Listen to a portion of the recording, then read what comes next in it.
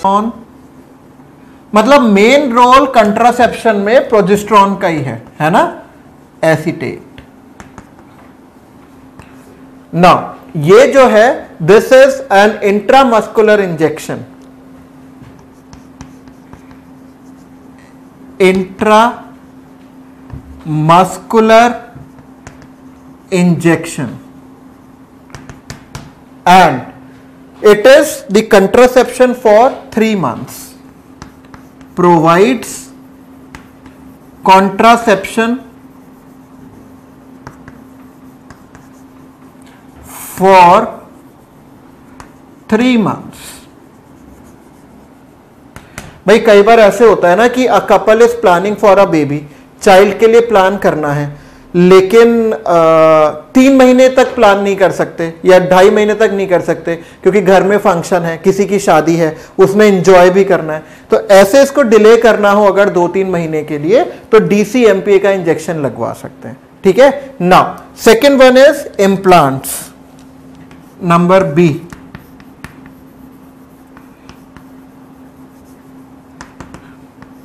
implants का best example है Norplant ठीक है? यहाँ पर लिखते हैं, ये सबसे अच्छा एग्ज़ाम्पल है नॉर प्लांट बेटा, ये जो नॉर प्लांट होता है इट इज़ इसमें ना छह कैप्सूल्स होते हैं, सियालिस्टिक सियालिस्टिक के मतलब सिलिका के। तो इसमें हम लिख सकते हैं six Silastic that means silica. Capsules capsules होते हैं और each containing 35 milligram of L N G each containing 35 milligram of L N G L N G आपको बताया था सिंथेटिक प्रोजेस्ट्रॉन होता है। Are are implanted subdermally skin के नीचे। डर्मिस स्किन होती है ना सबडर्मली तो ये कैसे दिखाई देते हैं? लेटेस्ट सी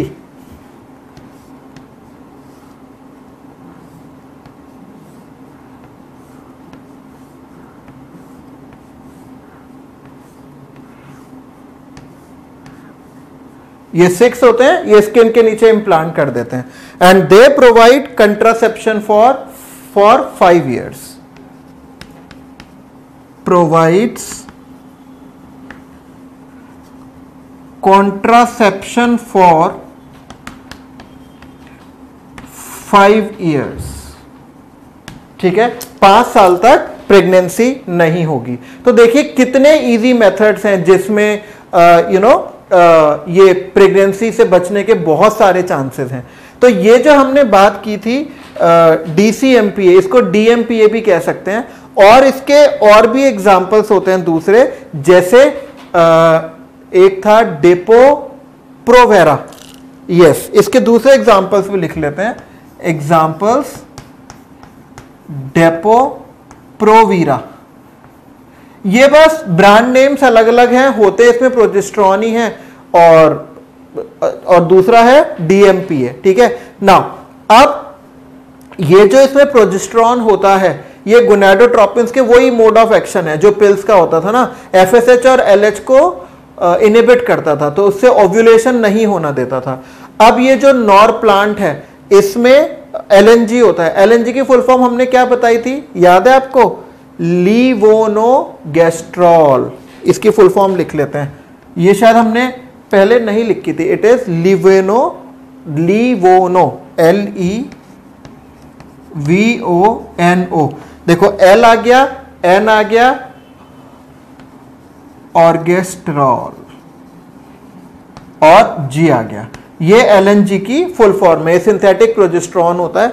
और ये कौन सी ट्यूब्स, कैप्सूल्स होते हैं, सिलिका के बने हुए होते हैं, ठीक है? और ये अपर आर्म, ये जो आर्म होता है ना, इसके नीचे, यहाँ पर इम्प्लांट हो जाते हैं, पता भी नहीं चलता। और धीरे धीरे इसमें से प्रोजेस्ट्रॉन बाहर निकलता रहता है, और जिससे फीमेल्स में एफएसएच और एलएच का जो सिक्रीशन है, वो कम होता जाता है और ओव्यूलेशन रुक जाता है right so this is all about what this is all about this hormonal methods of contraception अब आते हैं कुछ टर्मिनल मेथड्स टर्मिनल मेथड्स आते हैं या पोस्ट कंसेप्शनल मेथड्स आते हैं।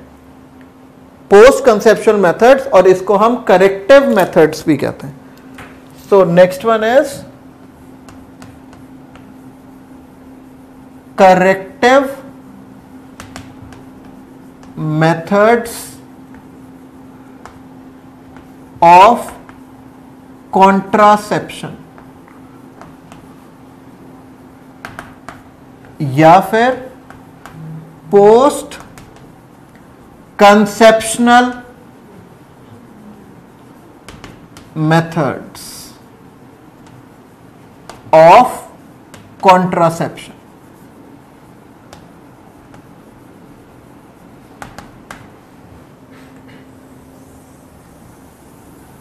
अब कॉन्ट्रासेप्शन कंसेप्शन तो हो गया जाइगोड भी बन गया इम्प्लांट भी हो गया, है ना?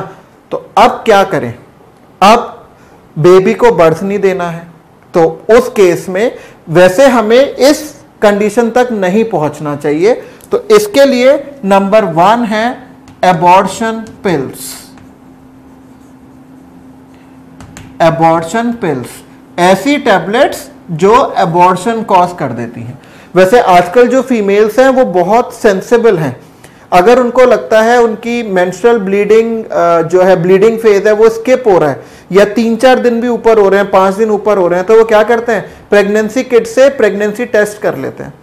तो 10 दिन ऊपर होने के बाद बेस्ट चीज़ है कि एबॉर्शन पिल ले ली जाए and that is the safe for the first you know twelve weeks twelve weeks तक ले सकते हैं, लेकिन जितनी जल्दी ले ली जाए, उतना वो ज़्यादा अच्छा रहता है। तो इसका बेस्ट एग्ज़ाम्पल है misoprostol right example misoprostol ठीक है, ये जो मीजोप्रेस्टॉल होती है, इसमें होता है प्रोस्टाग्लैंडन मतलब growth factor PGF two alpha तो हम यहाँ पर लिख सकते हैं कंटेन्स पीजीएफ टू अल्फ़ा ये फैक्टर इसमें प्रेजेंट होता है, जो क्या करता है इट कॉज प्री अच्छा आपको याद है ना, ये फैक्टर कब रिलीज़ होता था? जब पार्चुरेशन का टाइम आता था। तो ये दवाई लेने से कॉन्ट्रैक्शन शुरू हो जाते हैं, और वो जो बॉडी है, वो उस छोटे से एम्ब्रियो को पार्चुरेशन की तरह डिस्कार्ड कर देती है तो अबॉर्शन हो जाता है।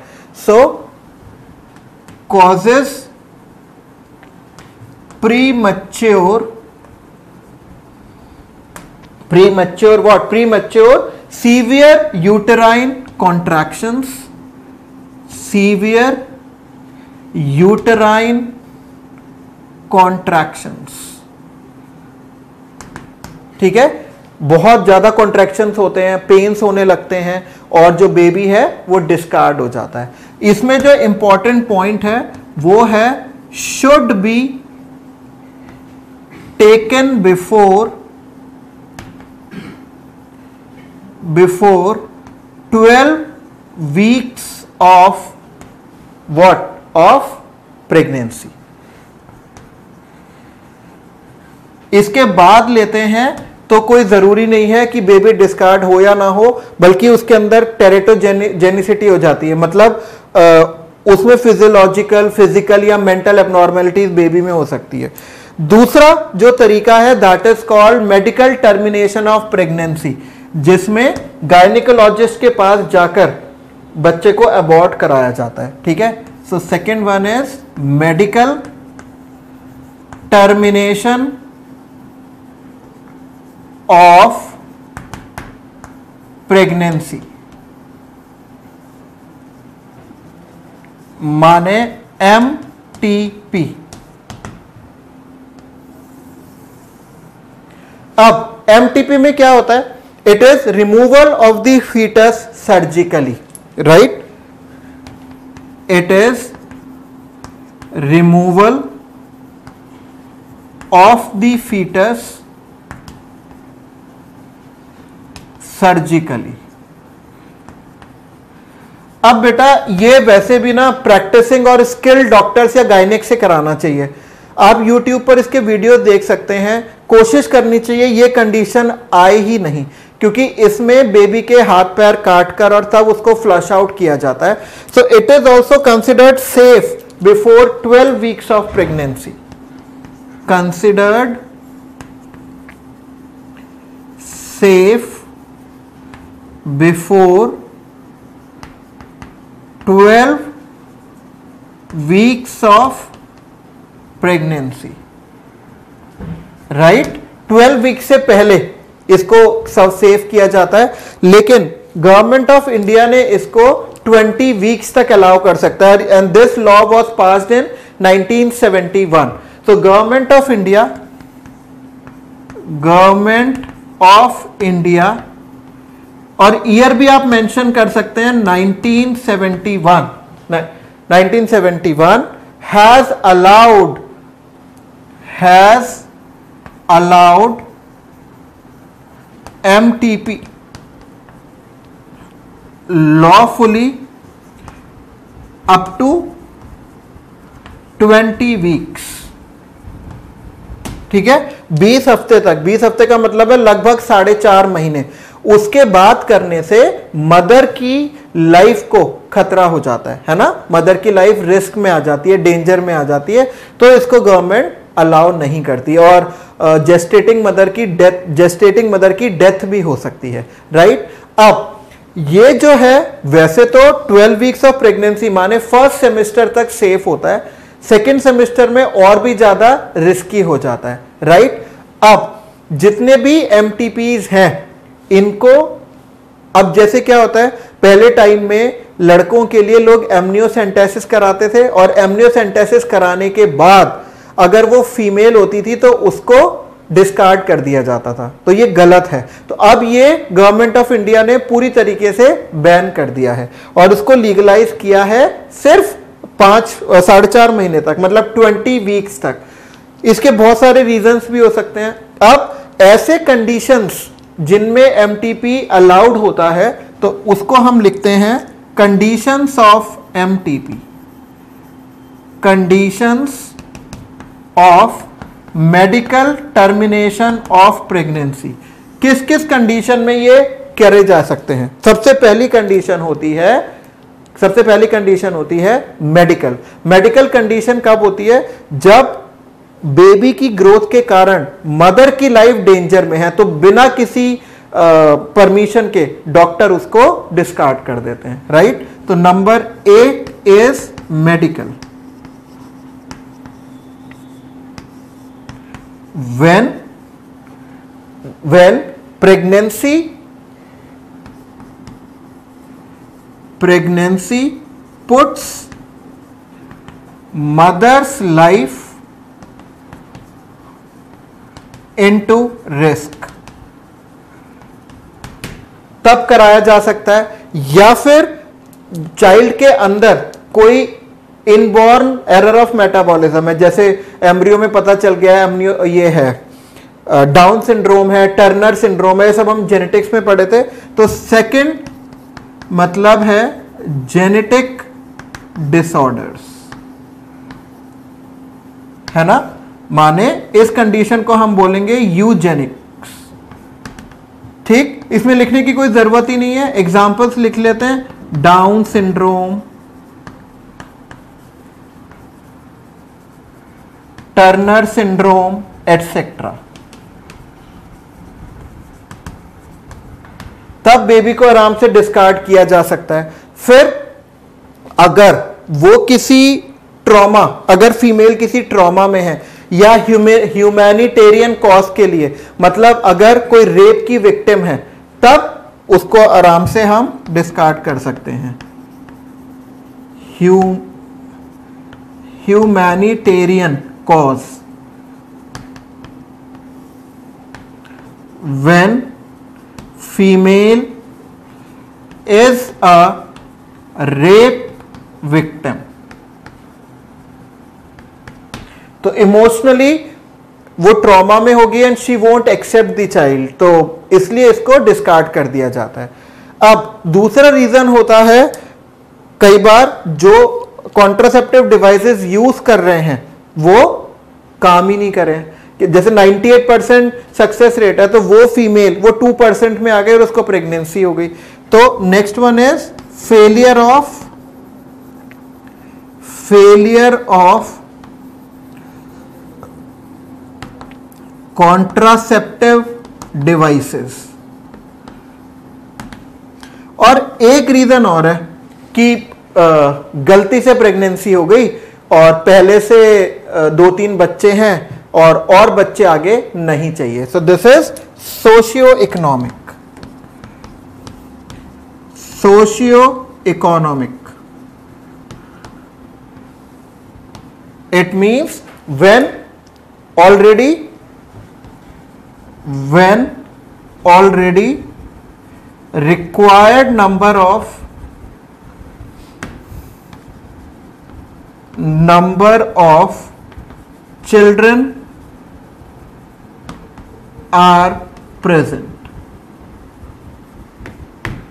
तब भी ये किया जा सकता है right so this is these all are the corrective measure मतलब एक बार अगर गड़बड़ी से प्रेगनेंसी हो गई है तो उस प्रेगनेंसी को हम कैसे ठीक करें? तो ये आता है इसमें।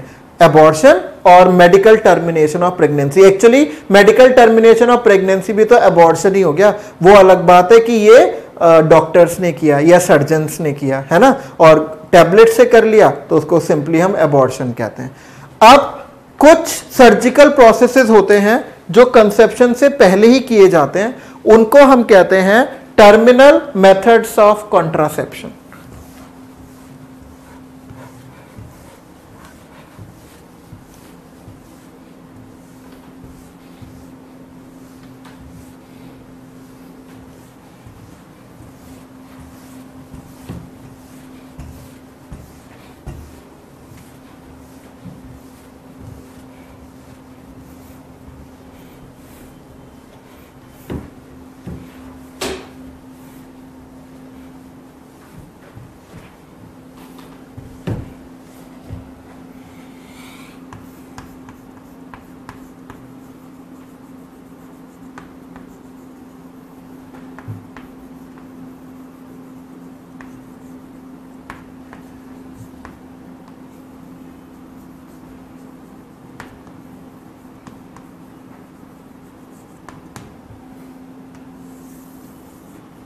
terminal methods of contraception इसका मतलब होता है सर्जिकली जो ट्यूब्स होती हैं, जो या तो ओवम को लेकर आती हैं या स्पर्म को लेकर आती हैं, उन डक्ट्स को काट दिया जाए या बंद कर दिया जाए या बाँध दिया जाए। ठीक है? So these are the these are the surgical it involves it involves surgical ligation ligation मतलब बांधना कटिंग मतलब काटना कटिंग क्लोजिंग और लाइगेटिंग तीनों काम किए जा सकते हैं, ठीक है? Ligating the gametes carrying ducts the gametes carrying ducts ठीक है? इन डक्ट्स को काट दिया जाता है। इसका जो रेट होता है सक्सेस का वो हंड्रेड परसेंट होता है, ठीक है? हंड्रेड परसेंट सक्सेस रेट लेकिन इसकी जो रिवर्सिबिलिटी है, वो डिफ़िकल्ट होती है। But reversibility is difficult reversibility क्यों डिफ़िकल्ट होती है कि वापस फिर उसको बांधेंगे तो उसमें प्रॉपर ओवम जाएगा या नहीं जाएगा? तो इट हैज़ सम स्पेसिफिकेशंस इसके एग्जांपल्स हैं number one vasectomy number A